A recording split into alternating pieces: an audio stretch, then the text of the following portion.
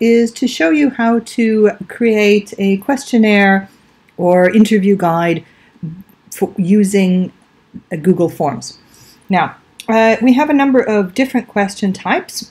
Uh, we have dichotomous, which are one of two answers. It's either yes or no or true, false, something like that.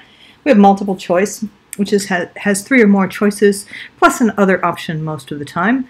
We have a Likert scale, which gives us agreement or disagreement with something on a, a rating scale of 1 to whatever your top number is. We also have an importance scale, which gives us the level of importance, a rating scale, rating the value of something, and open-ended questions, which are looking for more information. You allow your uh, the, the person filling out the questionnaire or doing the interview to fill in their own information. So the first thing that you need to do is open a Google account if you don't already have one. Um, this is a very simple, straightforward process. We go to google.com, okay, and we come over here to this, and we can click on my account. Oh, we're gonna shoot. Sign me out. Sign me out. Sorry. We're going to sign in, and I can choose an account here, or I can use another account. So I've got a number of accounts on here. I don't have this. We're going to go to more options and we will create account. So we just fill in all of the information and it takes us to the next step. It's a very easy process to open a, a Google account. All right, so we're going to go ahead and we're going to sign in again because I've uh, signed out. have a lot of people using my computer, as you can see. Okay, so we're back on Google Forms. I've signed myself back in, and I'm going to start on blank. So I'll click this one, start a new form, and I'm going to put together my questions. So the first thing that I need to do is give the form a title, and this is survey questionnaire sample. All right, and then I'm going to give it a description.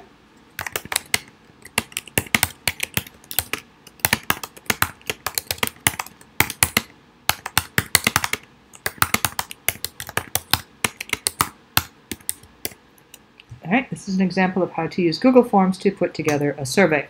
So now I've given it a title and the question. The first thing I'm going to do the next thing I'm going to do is click on Untitled Question, and we're going to design some questions using each one of the different types to learn how to use these functions. So the first question that we're going to put in is uh, going to come over here and we're going to change this to a short answer question and we'll make it a very simple one. What is your name? And as you can see, there's just a little bit of space to give us a short answer. Now, we're going to make this question required, so we toggle the switch over. If we click over here, um, it shows us a description of that question or response validation, which we don't want. We can also delete any question or we can duplicate questions, which we're going to do now. All right, so we've duplicated the question, and this is very useful if we're asking a number of the same type of questions. So, uh, short answer, again, they're required. We're going to change it to a paragraph, and we're going to, uh, what is your reason for uh, creating a survey? All right. So we want a little bit more information from the from the uh, participants. So I've got two questions in my questionnaire already. Okay, and you'll notice this keeps popping up. If we click on it, we can add an image. So we can upload one, we can take a, a, a, screenshot, we can put in a URL, take something from our album or the Google Drive, or we can go ahead and search Google to put an image in here. Chances are for academic writing, you're not going to be putting images in, so I'm not going to continue with that. All right, the next type of question we're thing we're going to do is add a question. So we click this little button down here, and our next question type is multiple choice. So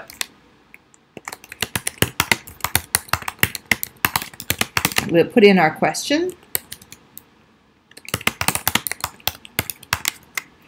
And we're going to have a couple number of options. So we're going to say 5, add a number option, 6, 7,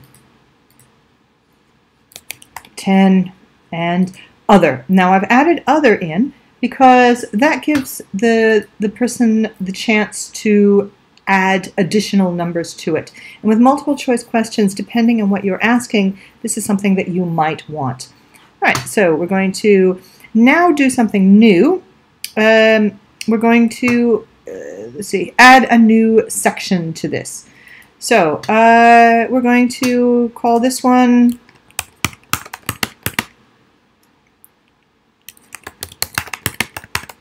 section on question types. All right, we'll go ahead and make that. So now uh, this is an, an option. This is, uh, sorry, this is an option to group your questionnaire in into categories. Okay, so that gives us our, our question type. So we're going to add a question to this. And now you see the default is multiple choice. Right, this time we're going to go to checkboxes. And my question is, how many types of questions will you use in your survey? Or not how many, uh, sorry, what are the different types of questions you'll use in your survey. All right, so what are they? And we have dichotomous, and you'll notice I've just entered the, hit the enter key, which works just fine, and uh,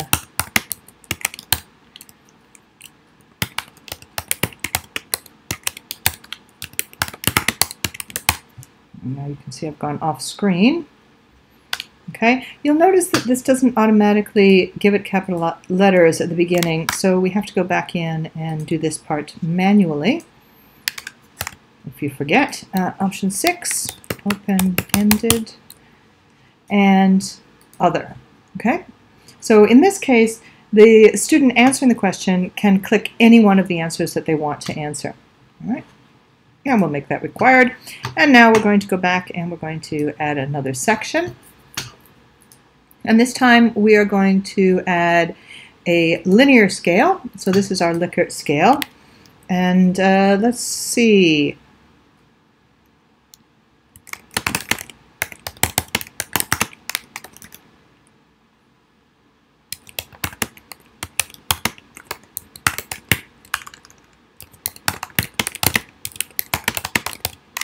Okay. Do you agree that Likert scale, you see it doesn't like my word, but it's spelled correctly, questions are easy to use. Now, we can put a label on this. Um, very difficult and very easy. All right, so this will give us a scale from 1 to 5.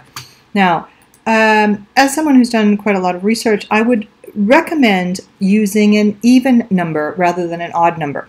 If you use an odd number, on your Likert scale, what you'll find is many students will just answer in the middle. So we're going to change that from 1 to 6. And again, we're going to make it a required question. All right, I'm going to come over here and we're going to use uh, a multiple choice grid. Okay, so it's still a multiple choice, but now we've changed the order. So we want uh, a number of rows and number of columns and make it to tick which ones you want.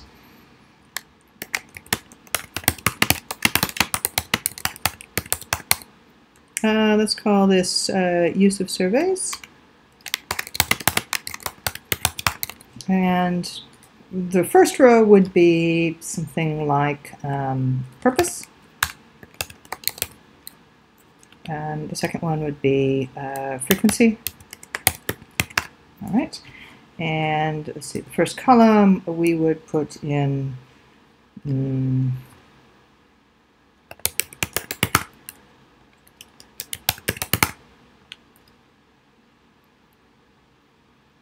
teaching, learning, work, uh, entertainment.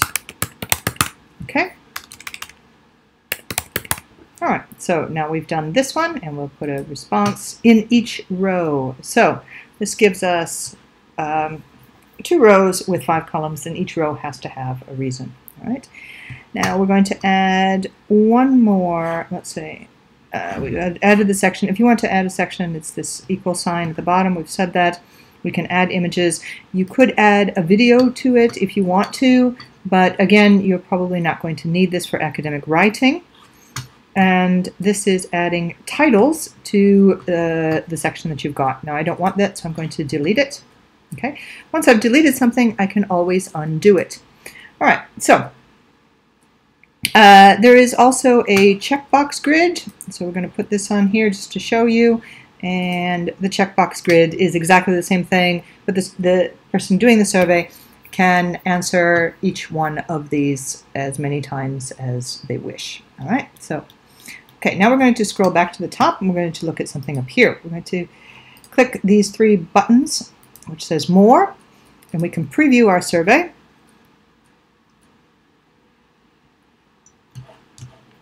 This is where we put the section break in. So we click Next.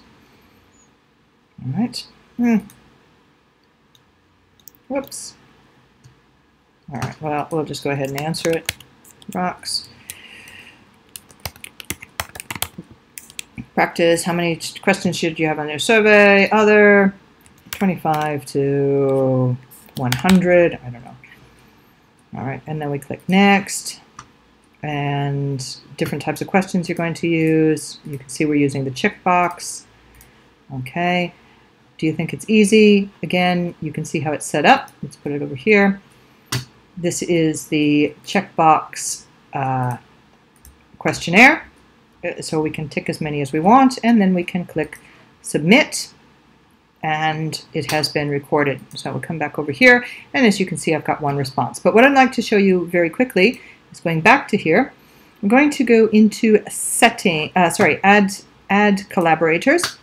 And at this point, you have um, a URL link that you can send via email to other people so that they can view and change the the the um, questions that you put together. So you can share this link with anyone on CityU Google Apps or apps with the links off, or you can share it with anyone with the link.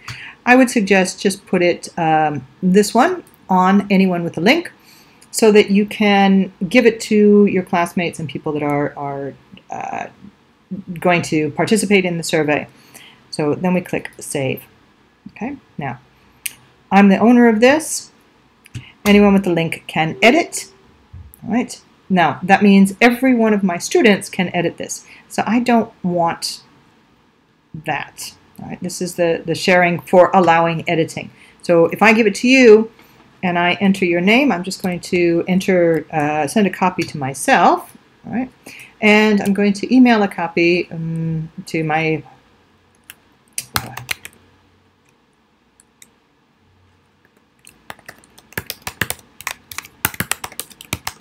the Roxify account. All right.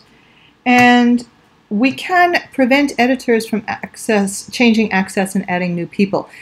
Um, if you don't trust your group mates, you can click it or not. Okay, so I've made that change because I don't want any of you adding a new person to it. Although that's fine, we'll leave it open. All right. Okay, and then we send it and off it goes. All right, so now I'm sharing this that is not a person in Google Apps, and that's absolutely fine. Okay, so that's it. And now I'm done. Okay, now I can look back at my responses and I can see the question answers have been uh, put into place with nice little graphs. Remember to watch the other video to see how you can use Google uh, Forms and the charts and graphs within it to add to your uh, academic papers. Ooh, this form is untitled. So we've got it untitled. We're going to go back to it. Sorry, and we're going to add a title. And the title is the same, Survey Questionnaire Sample. So when you click on it, it puts the title in. The nice thing about this is there is no need to continuously save it. Google does it for you.